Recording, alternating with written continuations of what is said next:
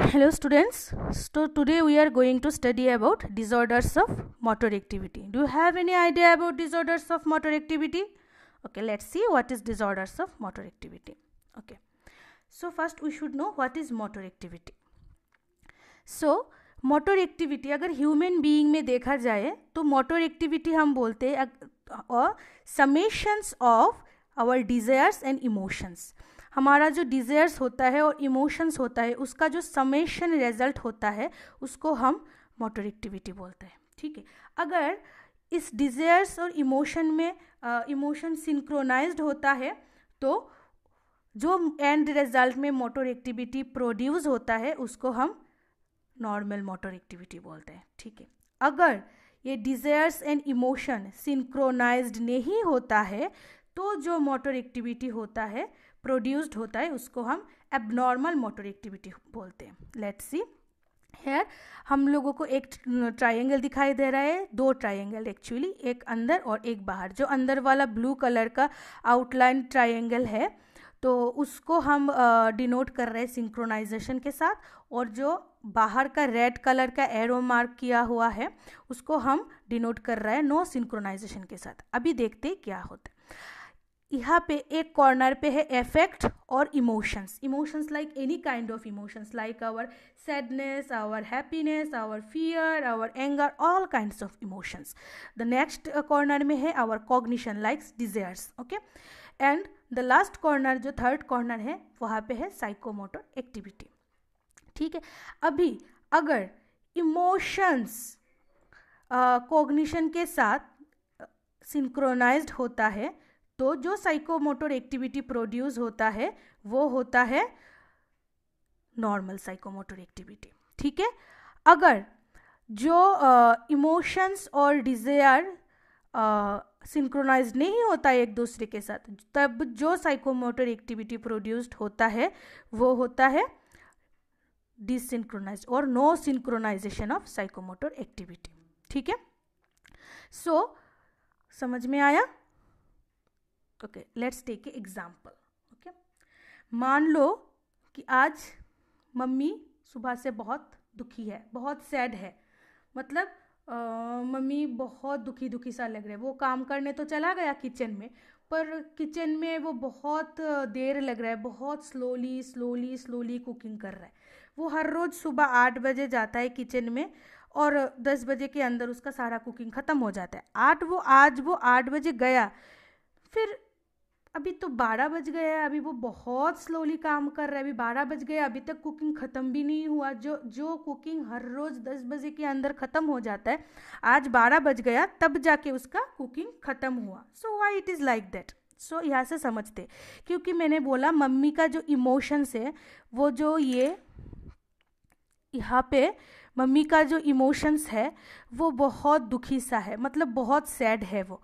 और वो जो सैडनेस है, वो इन्फ्लुएंस किया उसको डिज़ायर टू वर्क मतलब काम करने का जो डिज़ायर है, उसका जो इच्छा है, उसको उसने डिक्रीज कर दिया। इसका इफ़ेक्ट में क्या हुआ?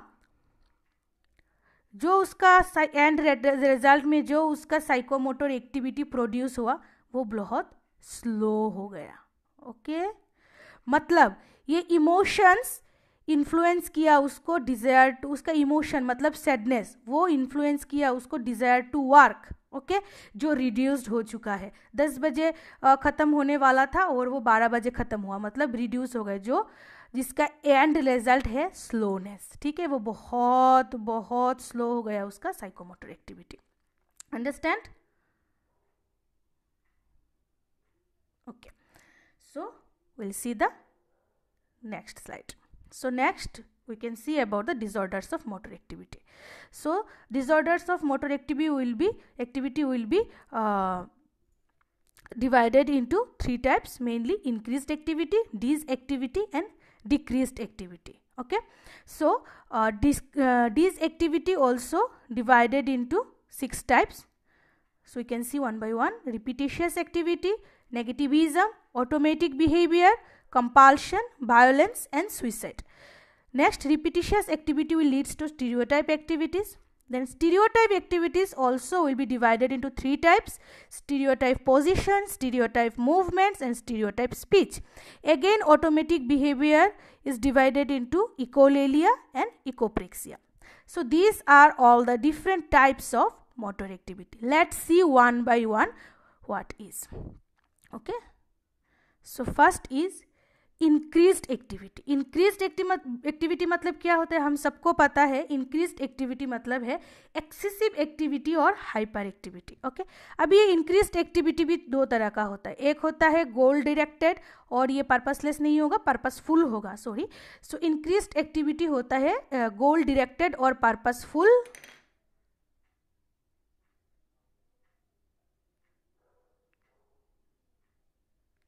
okay and decreased activity जो होता है एक होता है गोल डिरेक्टेड और और पर्पसफुल एंड नेक्स्ट होता है पर्पसलेस एक्टिविटी ओके सो हम देखते हैं कि गोल डिरेक्टेड इंक्रीज्ड एक्टिविटी क्या होता है। जो गोल डिरेक्टेड इंक्रीज्ड एक्टिविटी होता है उसमें इंडिविजुअल uh, जो परफॉर्म करता है with reason and purpose okay with reason and purpose the individual will perform he will do hard work to complete the activity okay? So this type of over activity is goal directed okay? Understand?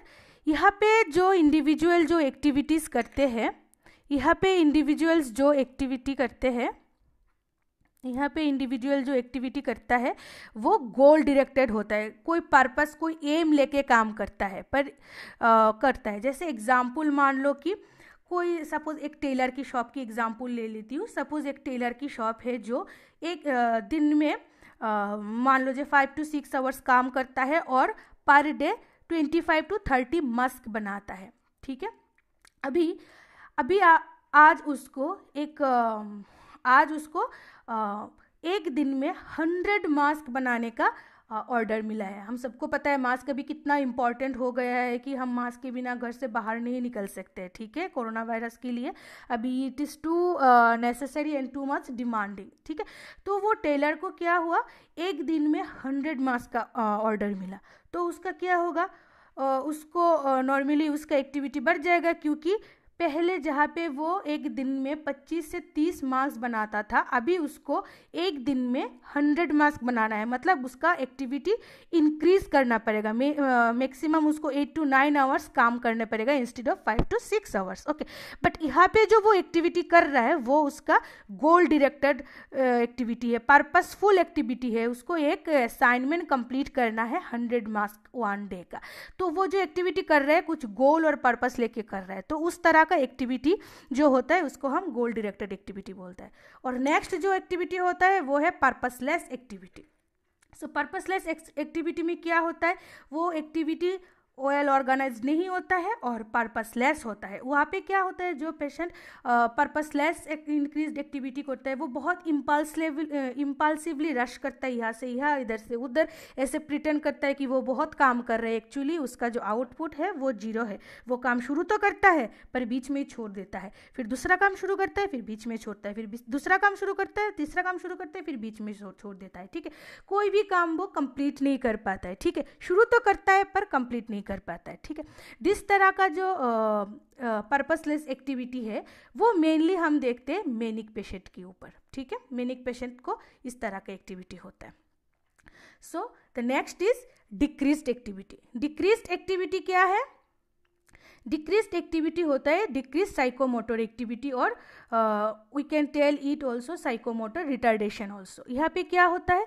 Patient takes too long to start the activity after starting the activity the patient takes too much time to uh, or if uh, she, sometimes she or may not even complete it also. Let's maximum uh, जो depression का patient होता है उन लोगों में ये decrease activity दिखाई देता है। Let's take a example okay suppose मैं uh, जिस पेशेंट को डिक्रीज एक्टिविटी है उस पेशेंट को मैंने बोला कि आप एक ग्लास पानी भर के लेके आओ ठीक है? तो वो ये एक्टिविटी शुरू करने में सपोज़ मैं अभी नाइन ओ क्लॉक मॉर्निंग का नाइन ओ क्लॉक उसको बोला, जाओ, तुम जाके एक ग्लास पानी भर के लेके आओ मेरे लिए, ठीक है?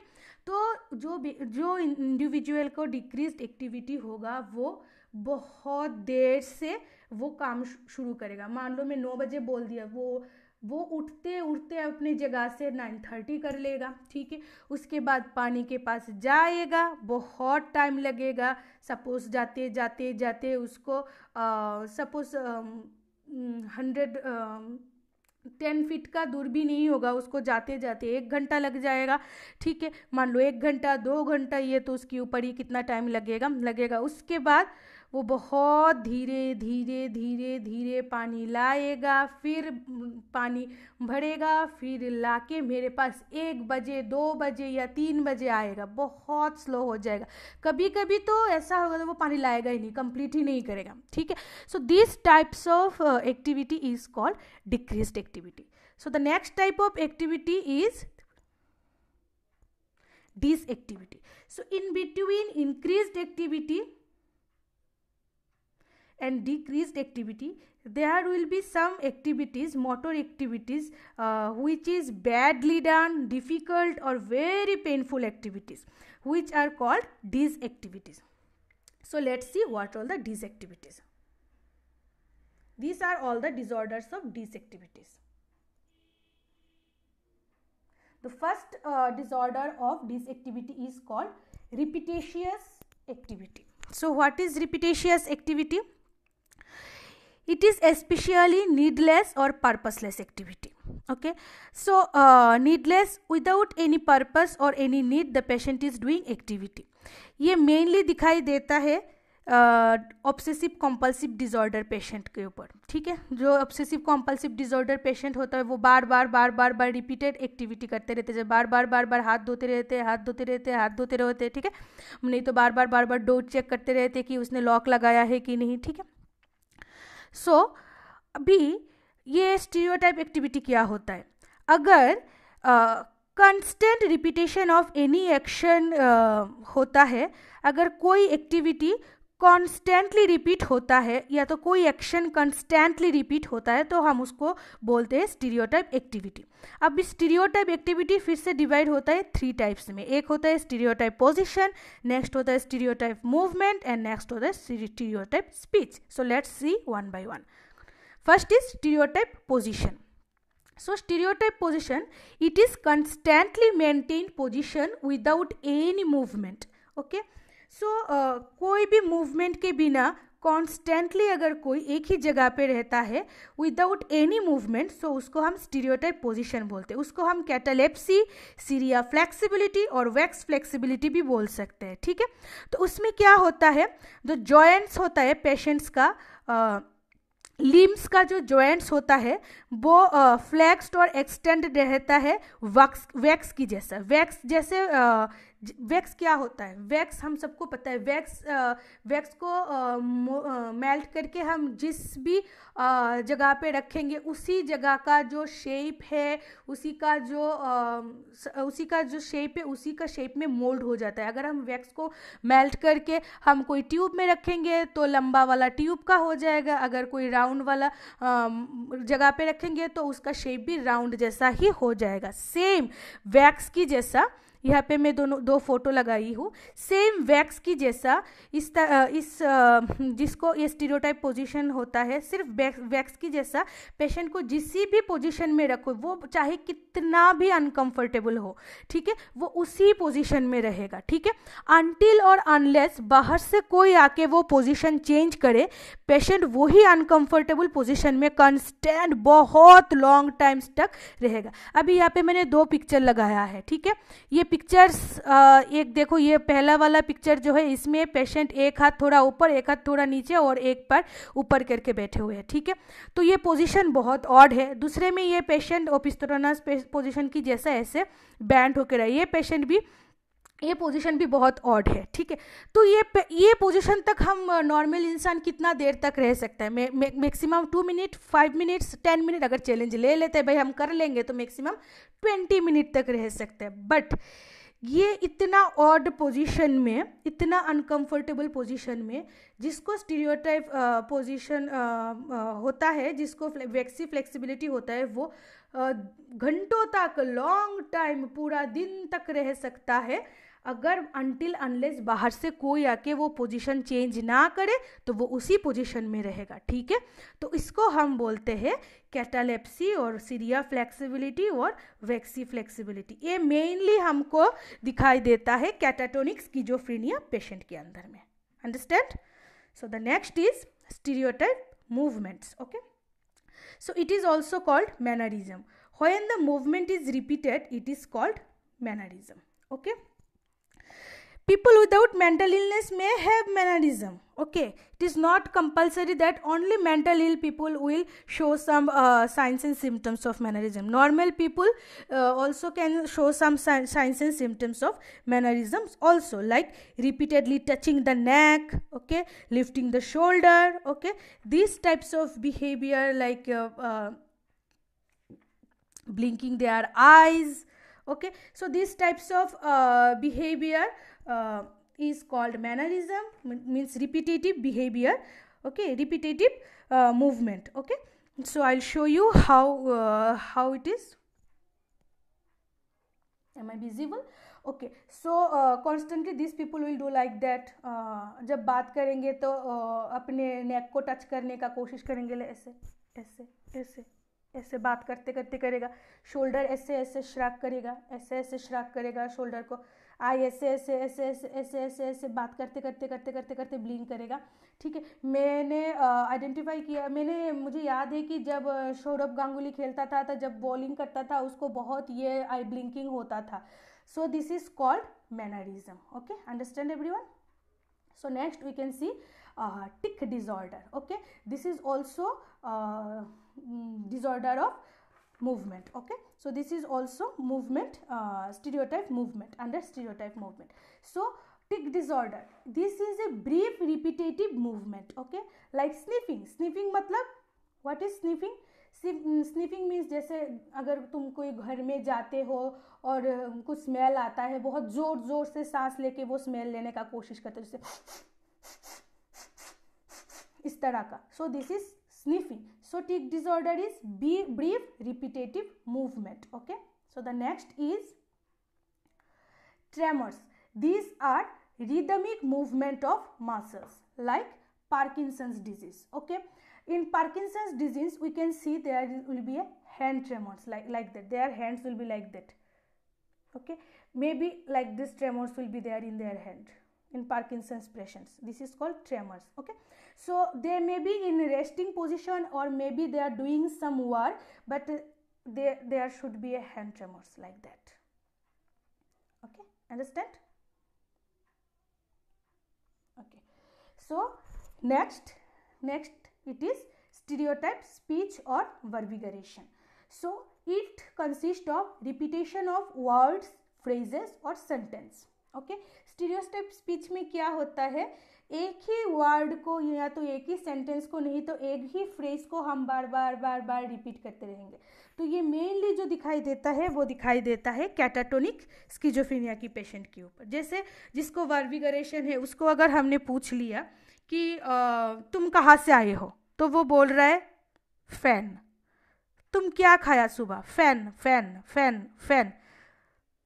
ये कौन है? Fan fan fan fan so so, जो भी क्वेश्चन पूछोगी वो कंस्टेंटली एक ही जो वर्ड है फ़ैन वो fan it is example I am giving so जो भी uh, वो आंसर देगा सेम हर क्वेश्चन की आंसर uh, में सेम ही वर्ड नहीं तो सेम ही फ्रेज नहीं तो सेम ही सेंटेंस वो बार बार बार बार बार बार बार बार रिपीट करता रहेगा। ठीक है? So this is verbigeration next is negativism so negativism is individual is aware of the aware of the stimuli but he or she is trying to oppose this actively or passively okay okay? यहाँ पे क्या होता है हम जो बोलेंगे जिस patient को नेगेटिविज्म होता है उस पेशेंट को हम जो बोलेंगे वो जस्ट उसका ऑपोजिट करेंगे ठीक है सपोज़ हम पेशेंट को बोल रहे हैं कि आप आँख खोलो ठीक है सो वो बहुत टाइट से अपना आँख बंद कर लेगा। बहुत टाइट से बंद करेगा। जितना भी कोशिश करो, वो आँख नहीं खुलेगा। मैंने खोलने के लिए बोला तो बोला तो जस्ट उसका ऑपोजिट वो आँख बंद रखेगा। नहीं तो वो क्या करेगा? मैंने बोला, तुम्हारा नाम क्या है? तुम कहाँ से आए हो? जो भी क्वेश्चन करूँगी, वो म्यूट रहेगा, चुप हो जाएगा। कितना भी कोशिश करो, वो खाना नहीं खाएगा। ये सॉरी जितना भी कोशिश करो वो मुँह नहीं खुलेगा म्यूट हो जाएगा। मतलब मैं जो भी मैं अगर बोलती हूँ उसको तो तुम आ, हैंड को फ्लैक्स करो तो वो बहुत ज़ोर से एक्सटेंड करेगा। कुछ भी हमें अगर फोर्स भी लगाओ तो वो मैं फ्लैक्स नहीं कर पाऊँगा। इतना वो फोर्स लगाएगा वो हैंड को एक्सटेंड लगा करने में ठीक है? अगर मैं बोलती हूँ खाना खाओ तो कभी खाना नहीं खाएगा। मतलब मैं जो भी बोलूँगी वो जो नेगेटिविज्म का पेशेंट है वो जस्ट उसका ऑपोजिट करेगा ठीक है? So the next is automatism so automatism होता है जो विदाउट एनी कॉन्शियस नॉलेज अगर हम कुछ एक्टिविटी करते हैं। विदाउट एनी कॉन्शियस नॉलेज अगर हम कुछ एक्टिविटी करते हैं तो हम उसको ऑटोमेटिज्म बोलता है। ये ऑटोमेटिक एक्शंस और स्पीच में होता है, ठीक है? So automatic actions like sleep walking हम स्लीप में वॉक करके चले जाते हैं बट हम लोग को पता नहीं कि हम वॉक कर रहे हैं, ठीक है? This is automatic action automatic speech जो होता है, वो होता है टू टाइप्स का echolalia and echopraxia so what is echolalia echo क्या है? हमको, हम बहुत छोटे से पता इको किया है। जब एक बड़ा सा रूम में हम जाते हैं, पूरा खाली रूम में, और वहाँ पे हम कुछ ऐसे ज़ोर से आवाज़ लगाते हैं, जैसे अपना नाम ही आगाज़ लगाते हैं, जैसे हम बहुत ज़ोर से कुछ बोलते हैं, जैसे पेन। तो पेन बोलेंगे तो वो इको होके, pen pen pen pen pen pen pen, ऐसे इको होके वो चीज़ हमारे पास फिर से आ जाएगा, ठीक है? वो जो मैं बोलूँगी, वही सेम चीज़ वो रिपीट करेगा। जैसे मैं बोलूँगी अगर हाउ वो भी ऐसे रिपीट करेगा how how how how how ऐसे रिपीट होके हमारा पास आएगा। मतलब जो मैं बोलूँगी वही सेम चीज़ वो रिपीट होके हमारा पास आएगा। So what is echolalia echolalia means it is the repetition by imitation of speech by another person okay और maybe ecolalia it is uh, which questions are uh, asked it is echo back or repeated. Suppose किस किसी patient को अगर echolalia है तो वो patient को हमने पूछ लिया uh, भाई तुम्हारा नाम क्या है? तो वो आंसर में भी बोलेगा भाई तुम्हारा नाम क्या है? मैंने पूछ लिया क्या खाया? तो वो आंसर में भी बोलेगा, क्या खाया? मतलब मैं जो भी क्वेश्चन करूँगी, वही सेम क्वेश्चन वो रिपीटेडली मुझे बोलेगा। So this is called echolalia so what is echopraxia so echopraxia is activity done by the people are repeated और इमिटेड बाय अदर्स लाइक अगर किसी पेशेंट को इकोप्रेक्सिया है तो वो पेशेंट जो मैं करूँगी या तो जो सामने वाला जो करेगा सेम वो एक्शन वो रिपीट करेगा।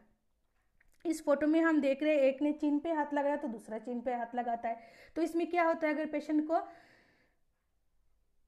पेशेंट को इकोप्रेक्सिया है तो अगर सपोज़ मैं यहाँ पे हाथ राइट हैंड ऊपर कर रही हूँ तो पेशेंट सेम उसका राइट हैंड ऊपर करेगा। मैं यहाँ पे दो कदम पीछे जा रही हूँ तो पेशेंट सेम मेरी तरफ़ दो कदम पीछे जाएगा। मतलब मैं जो भी एक्शन करूँगी, वो सेम टू सेम वो एक्शन रिपीट करेगा। So this is called echopraxia so the next is compulsion. So, what is compulsion? Compulsion is repeatedly performing an act which may look unreasonable to the viewers and the individual himself is called compulsion. मतलब कुछ भी purpose नहीं unreasonably कुछ भी act repeatedly अगर कोई करता है तो उसको हम कंपाल्शन बोलता है मेनली वो ऑब्सेसिव कॉम्पल्सिव पेशेंट के ऊपर पेशेंट पे ही दिखाई देता है जैसे कि वो लोग बार बार हैंड वॉश करता है बार बार बार बार बार बार हैंड वॉश करता है बार बार लॉक है कि नहीं डोर में चेक करता रहता है ठीक है? सो अभी अभी सबको सब, ऐसा लग रहा है कि यार मैं भी तो करती हूँ मैं भी तो बार बार चेक करती हूँ कि मेरे बैग के अंदर मेरे पार्स में मैंने मोबाइल रखा है कि नहीं? मैंने आते वक्त गैस स्टोव ऑफ़ किया है कि नहीं? बार बार चेक करते रहती हूँ तो फिर क्या मुझे भी मेंटल डिजॉर्डर है? So remind that until unless those activity will not uh, interfering or hampering our daily routine, we cannot tell that this you are having or that individual is having mental disorder. Okay. So so, थोड़ा बहुत हम सब में ऐसा compulsion हो जाता है but until unless वो हमारा डेली जो रूटीन है उसको इंटरफेयर नहीं करते हम उसको ऑब्सेसिव कंपल्सिव डिजॉर्डर नहीं बोल सकते। इसको हम सिर्फ़ अपना ऑब्सेसिव कंपल्सिव एक पर्सनैलिटी का टाइप्स बोल सकते हैं okay so the next is violence okay violence we know it is aggressive behaviour in which physical force is exerted okay बहुत ज़ोर से फ़िज़िकल बिहेवियर फोर्स हम लगाते हैं, उसको हम एग्रेसिवली उसको हम वायलेंस बोलता है। वायलेंस हम कहाँ दिखाई देता है? अब सबको पता है, वो हम वार में मर्डर एशॉल्ट रैप वो सब में हमको वायलेंस दिखाई देता है। And the last is suicide what is suicide suicide is violence toward self okay अगर वो वायलेंस टुवर्ड सेल्फ होता है तो उसको सॉरी तो उसको सुइसाइड बोलता है। उसको हम बोलते हैं act of killing one self okay this is very leading cause uh, nowadays among adolescents or other peoples. So mainly हम सुइसाइड uh, कौन करने में देखते हैं? कॉमनली देखते हैं डिप्रेसिव पेशेंट को सुइसाइड करते हुए या तो स्क्रीजोफिनिया पेशेंट जो है वो लोग सुइसाइड मेनली अटेम्प्ट करते हैं। सीवियर डिप्रेशन पेशेंट और सुइसाइड uh, और स्क्रीजोफिनिक जो पेशेंट होता है मेनली वो सुइसाइड अटेम्प्ट करते रहता है। So this are all the disorders of motor activity I hope every one will understand okay? So understand everyone? So thank you